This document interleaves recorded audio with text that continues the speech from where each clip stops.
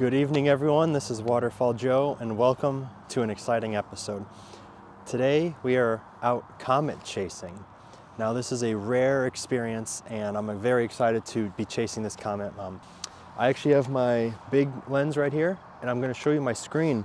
I actually have the comet in my photo right now, so we're going to go ahead and shoot. I'm going to show you how to find this comet and uh, you know, kind of why this is a big deal. So let's dive in. All right, so of course, as I've already said, this is a very special thing. Not a lot of people are gonna get to see this one.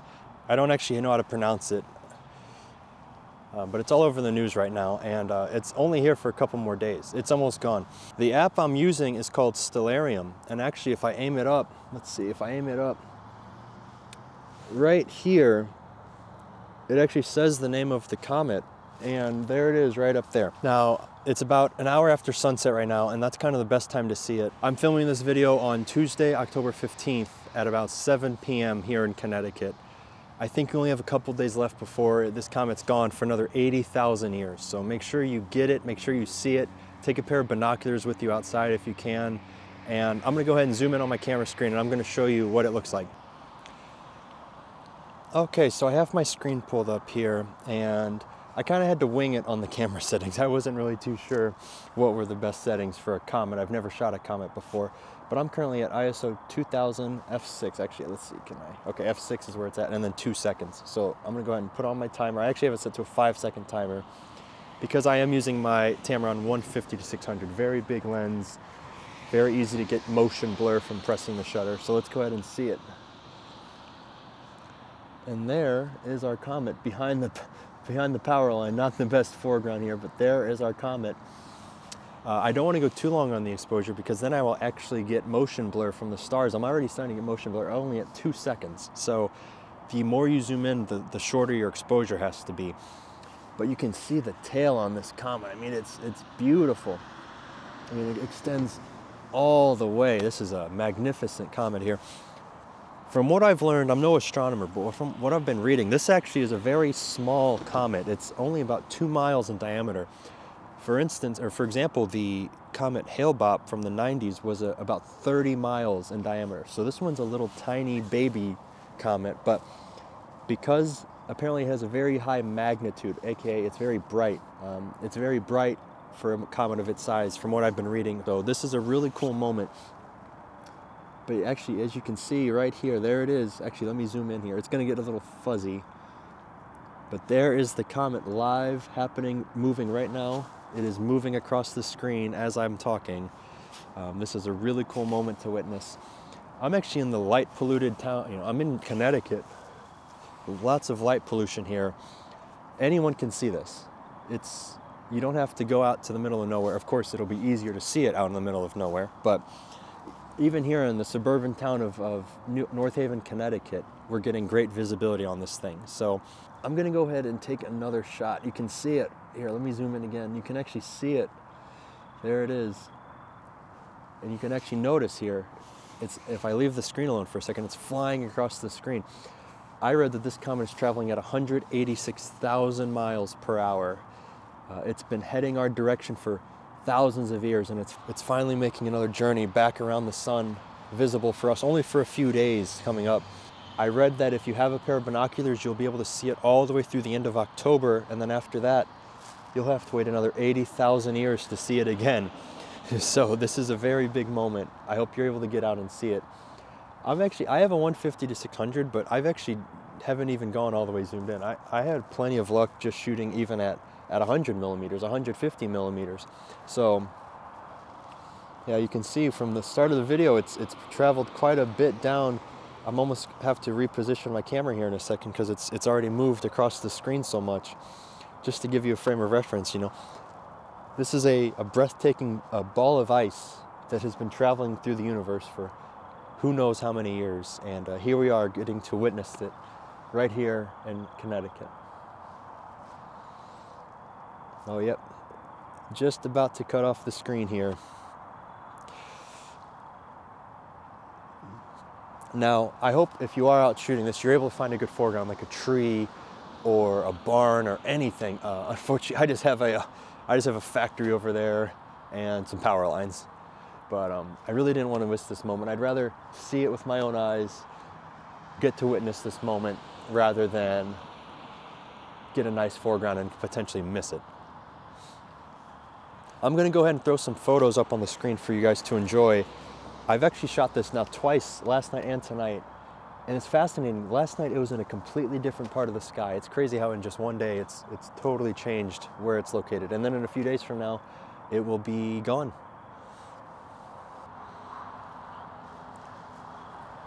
So I'm to experiment with different shutter speeds, different ISOs. Um, I've never shot a comet until last night, and even then, I wasn't really sure what I was doing.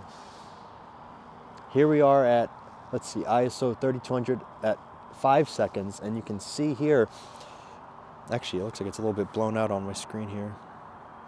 You can see it's a lot easier to see the tail of the comet now as we bump up the exposure a little bit here. I really don't want to go past five seconds here because um, I'm already actually starting to get star trails in the photo. I already have stars being blurred out, so I really can't go too long here.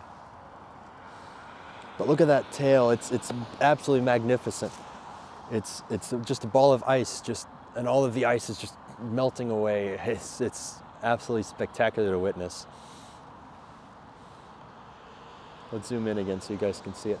Uh, this video wasn't really meant to be uh, photographic information. It was just meant to document a very, very awesome historical moment that, um, you know, I don't know when the next comet's going to happen. Who knows? You? Or these things really are rare, you know? So let's let's enjoy this moment. Uh, I'm going to stop talking here and just let you watch my extremely pixelated screen of the comet as it crosses our sky.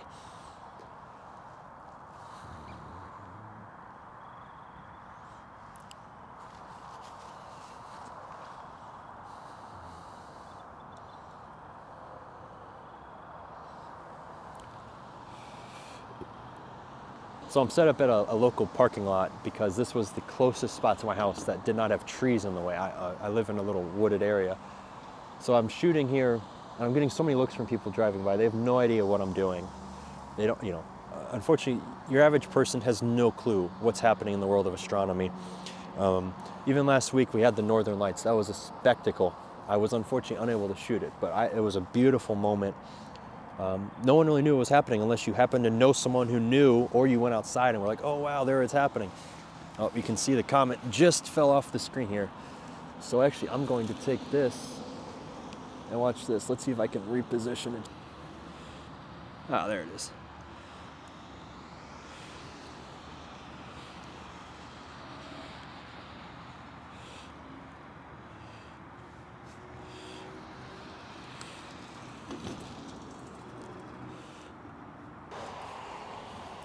Okay, so now I'm taking another exposure. I just recomposed and I zoomed in. Let's go ahead and see what this looks like.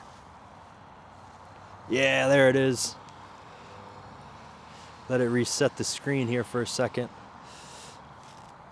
Yeah, look at that tail. That's spectacular. We're getting the full tail. The comet is breathtaking right now, guys. So we just did another exposure at some different settings here. This one was ISO 3200 f5 or f6 for five seconds, and we're getting that full tail of the Milky Way, or sorry, the Milky Way of the comet. And actually, I think we're even getting what they call an anti-tail. Oh, it looks like I took did too long. I'm starting to get star trails. It looks like we even got this fascinating thing here called the anti-tail. Let me get. If you see right here, there's like another streak of light this almost looks like the uh, the anti-tail. Here, let me turn off my, my light here. Maybe you can see this a little bit better. And uh, I read, I, I have to research a little bit more what the anti-tail is, but I believe we got it here, which is really cool. So it looks like five seconds is actually too long. Let's chill it out down to two and a half. Let's see if we don't get any streaking now. Uh, let me just report that this is actually very difficult to see with the naked eye, at least from where I am. Uh, of course, there's lots of light pollution nearby, lots of businesses and towns, and I'm in the middle of Connecticut. There is no darkness here. And of course, we have the power lines in the way. Here, let's see. How is two and a half seconds? Are we still getting light trails? Okay, you see the stars are a little bit sharper now. I'm still getting light trails, though. It looks like I, I really can't go past about two seconds. So let's do two seconds and then let's bump the ISO up maybe to 5,000. Let's see how this looks. Another thing I need to do before I proceed is I need to double check my focus. Of course, with night photography, there is no autofocus. You have to manually focus for this. All right, here we go. Let's see. Yeah, that looks a little bit better. And then look at this. There's there's the comet as it soars through our, our skies. So I'm going to show you how to double check your manual focus when you're when you're at shooting at nighttime. So what I did is I zoom in on my screen and I'm actually going to spin the focus ring here.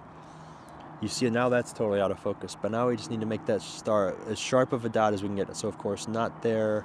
Actually, let's zoom in one more. Right Looks like right about there is as sharp as that's gonna get. I think I even need to go down to half a, a, minute, a second and a half. Let's see how a second and a half looks. Looks like we're getting airplane passing through the tail of the comet. Oh yeah, we got some airplane streaks. Okay, there we go. One second, or one and a half seconds. Ah, the stars are all out of focus. Shoot. This is just a constant battle of... There we go. And I'm in manual focus, I believe. Let's double check that. I am in manual focus. Okay, let's try one more shot here. We're about to lose the comet off the screen, so I'll have to recompose again. It's fascinating, you know, as it as it moves across the sky. Yeah, there we go. Let's use that. Yeah, look at that. We got the full tail of the comet with this beautiful power line in the way. It's fascinating when you use a lens like a 150 to 600 when you zoom in on your screen, you're actually able to see the rotation of the Earth happening in front of your eyes. Uh, you know, on a wide angle, you don't really get that. You know, you, you, it doesn't take, you know, it takes forever to witness it. But I hope you guys are enjoying this. You know, this is a very amazing moment, and I hope if you're unable to witness this with your own eyes, I hope that this video has helped helped you experience this more. Uh, this is a very cool thing to witness uh, you know, this comet is not like the Milky Way. This isn't, this isn't something we're going to see ever again in our lifetime. Not this particular one, at least. So I hope you're able to uh, enjoy this moment with me. Here it is moving. Here's a power line, and then there's the comet as it travels through our solar system. You know, I, am always intrigued by situations like this. Whenever some fascinating astronomical event is occurring, who all pays attention and who all doesn't really care? You know, here we have a comet on the screen right now happening live. This is a comet traveling through our solar system that's not coming back anytime soon. How many people are watching? How many people even know about it? You know, that's the, that's the moment. That's why I love these things. I hope you enjoyed the video. I think we're going to wrap it up here. I'm getting pretty cold and the comet is about to actually go low enough where we can't see it anymore. So this wasn't anything serious. It was just me out here filming it, you know, documenting this uh, incredible experience.